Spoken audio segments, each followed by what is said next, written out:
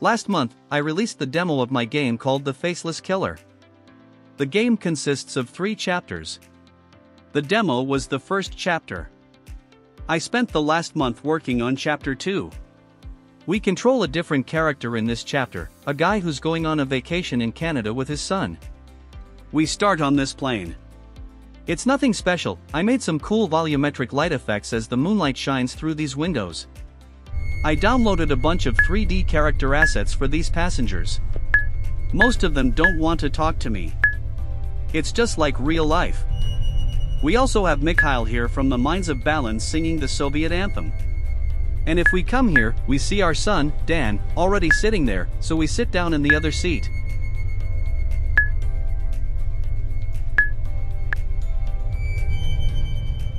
Then we have some small talk, then they talk about how the kid's mother died. I don't know, I never talk to humans, it surely works this way. But then, boom, he suddenly transforms into a crazy old man. Just the usual stuff. Okay, he doesn't transform into an old man, it's just a vision of the player. The guy we see is Father Carlson, he's mentioned in chapter 1 if you remember. Then we snap back to reality, and we switch to arriving at a hotel's reception. Our son has a somewhat good looking walking animation.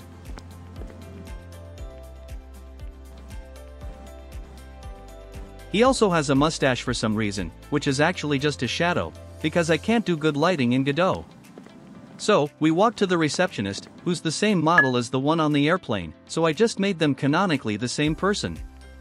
Yeah, there are not enough free human models available. She gives us this key which we can store in our inventory.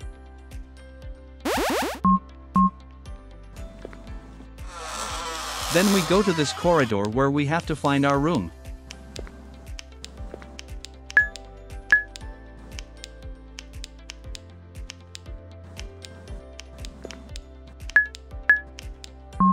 We use the key to open the door, and inside, we see the subscribe button, which you should press if you enjoy this content, and don't forget to wishlist the game Steam, and I also have a Patreon where you can get early access to videos.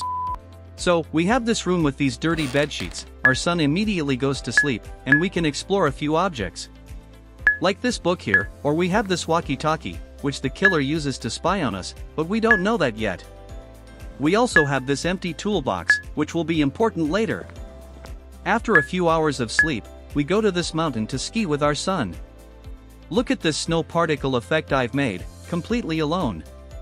Yeah, these are just white cubes falling from the sky, I don't know shit about particles.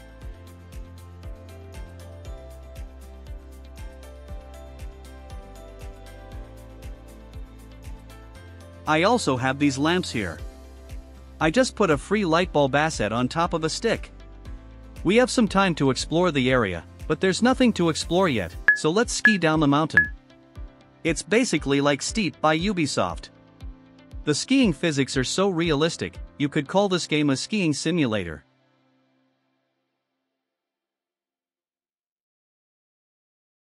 But, we'll never be able to play it, because we step on a landmine, and we explode.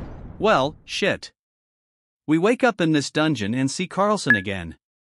But as we find out, it's just a dream. After some dialogue in this awesome looking red volumetric light, we wake up in this hospital, which is not ready yet, it's just a few white walls.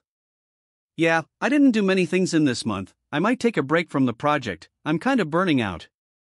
Now I'm focused on learning C and other languages, then maybe some embedded programming with Arduino. Next video will come hopefully sooner than this one. Bye.